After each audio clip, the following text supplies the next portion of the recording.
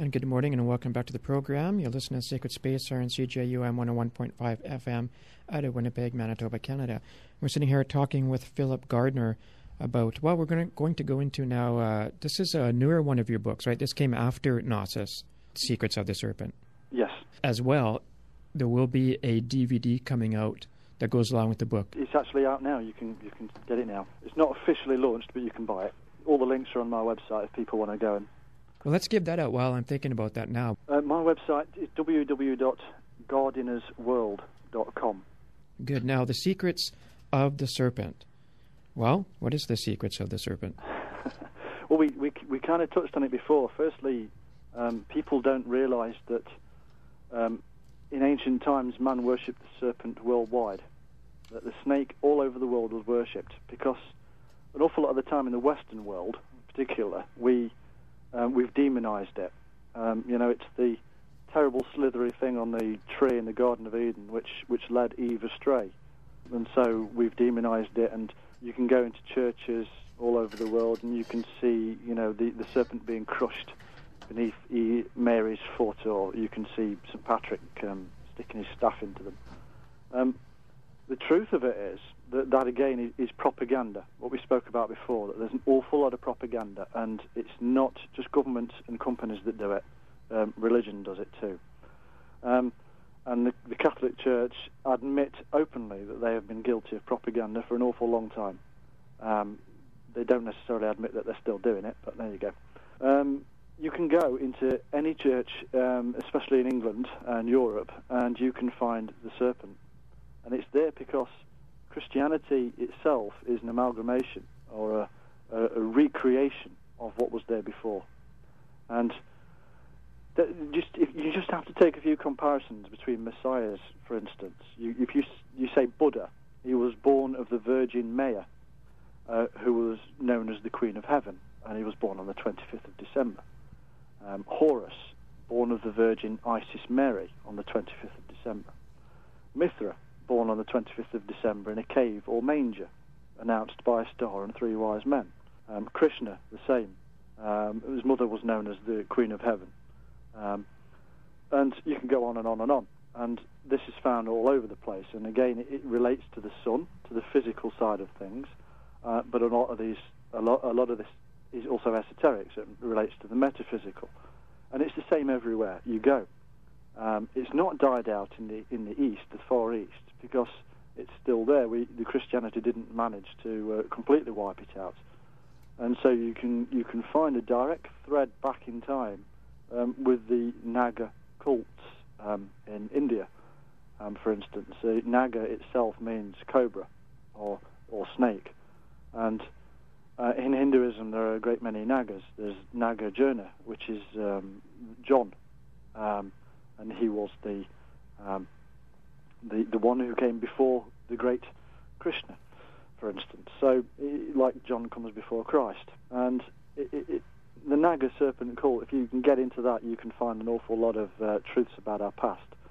So, the serpent cult was all over the world, and it is the generative cause of a great many of the religions. Um, and it is always in religions. You can. People said to me, "Well, it's not in Islam, surely," uh, but it is. Uh, there's a prophet, for instance, uh, one of the minor prophets, which was actually before they gave him a human name, was actually a serpent in that area, and archaeologically proven to be so. Um, Muhammad himself uh, was very, very ill, tried every um, possible medicine he could, tried asking God for some reason he couldn't get the cure, and he actually allowed them to use snake venom. Which brings me back to how I got into the serpent cult in the first place. Um, one night I was I was in bed with my wife. We were having a cup of tea. It was about one o'clock in the morning, and she's she's a bit of an epidemiologist. Um, and she sat there and said, "Did you realise, Phil, that um, they're researching snake venom um, as a cure for um, various um, immune deficient problems within man?" And at the time, I was deeply into alchemy and and looking for the supposed elixir of life on the physical level, not the spiritual level. And um, it kind of something just struck me that, there was a truth in this, what she was saying. And thereafter, two years of very, very hard research in ancient medical materia and alchemical texts, and uh, talking to scientists across the world, um, we actually discovered that um, the, the, serpent venom and blood of the, of the snake had been used for an awful long time um, throughout history. And it, it was actually down in a great many places as the elixir of life because the immense amounts of protein that are in the various forms of venom actually boost the immune system of the body and therefore help us to fight disease and therefore live longer. And there are people today, um, Bill Haast, for instance, who actually does inject himself with snake venom and still looks only 30 years old at, at 80.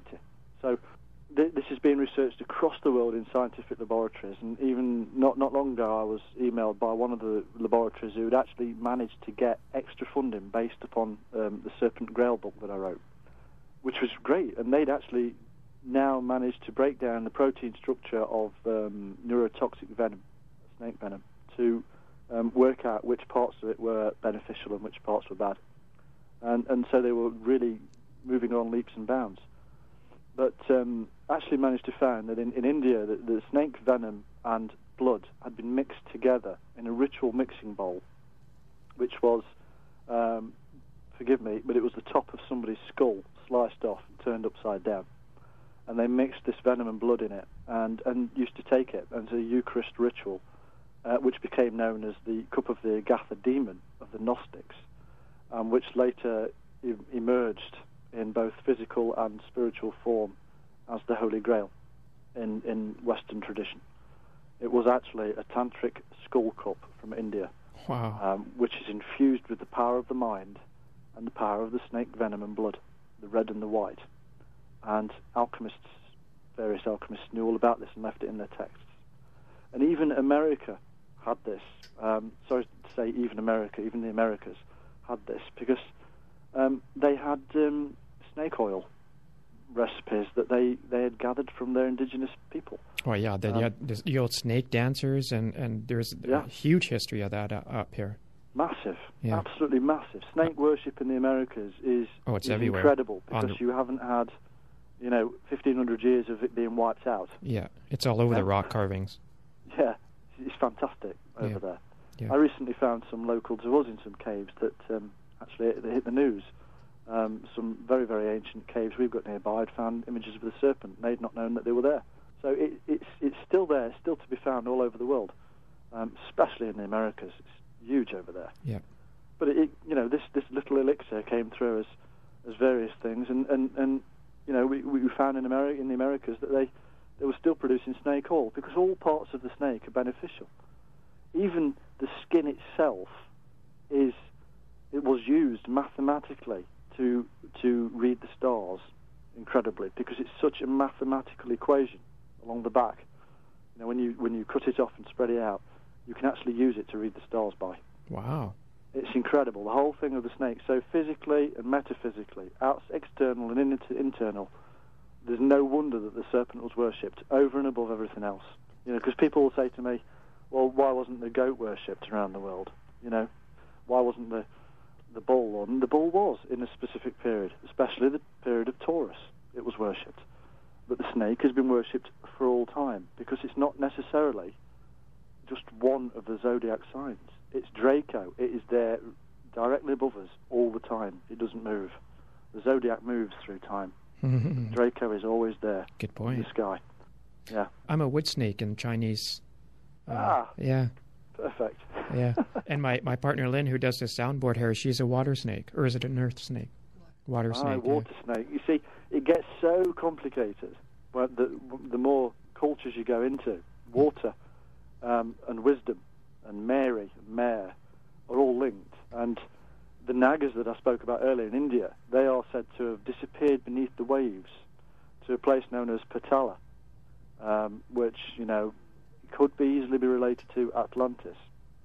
Um, they disappeared beneath the waves because this is the place of wisdom beneath the waves. The sea was seen to disappear over the horizon, go into this, this underworld, this world of the unconscious, this mirror world of ourselves where things can live but we can't, just like our unconscious state.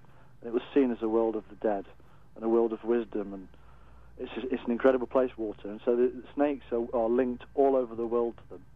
And you get back to things like Christianity, for instance, where um, St. Patrick came to Ireland and and eradicated all the snakes. He kicked all the snakes out of Ireland.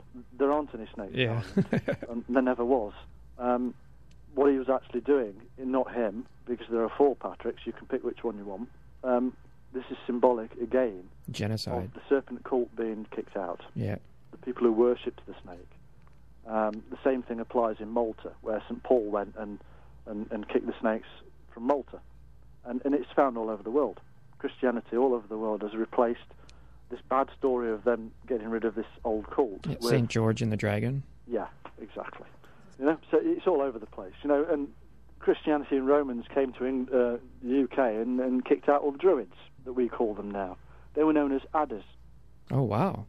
They were serpent worshippers. Oh, that's, That's I, why they were called adders. The adder is a serpent. And yet again, the Druids had their their solar deity, which was crucified on a cross um, once a year at Christmas, you know, and resurrected. Same thing again, all over the world. I found it interesting, too, the whole duality of the cure and the killer. Implicit in the nature of the serpent, all over the world, the duality. Good Yeah. and bad, light and dark. You know, even yin and yang in, uh, you know, the Chinese mystical traditions um, developed from two intertwined serpents. Um, the Chinese, the Manchurian um, um, alphabet derived from images of serpents. A great many of, of our, the letters in our alphabet are derived from serpents because language comes initially from drawings, pictographs, and, and many of them were serpents. Martial arts comes from it. Even circumcision, believe it or not, comes from the serpent because the serpent, the snake, was seen to, to slough its skin off and be resurrected. And so circumcision was a direct copy of what this holy serpent was doing. It's an incredible animal, an incredible symbol in, in the history of mankind, and it's been it's just been wiped out for no good reason whatsoever. Yeah. At the end of the day, it gave Eve. By the way, Eve comes from the root word hava, which means female serpent. It, it gave Eve access to the knowledge. The only animal in the Bible which talks for itself, using its own voice. and crawls amongst the earth, amongst amongst uh, Mother Earth. Yes, absolutely. You know, the only other animal in there that talks is an ass, and that's God talking through the ass. So, Yeah. you know, that's different. That's God talking through that. The Yeah. snake talks for itself. Yeah. I, Bible. yeah. I've al- based on a much, much more ancient Babylonian myth.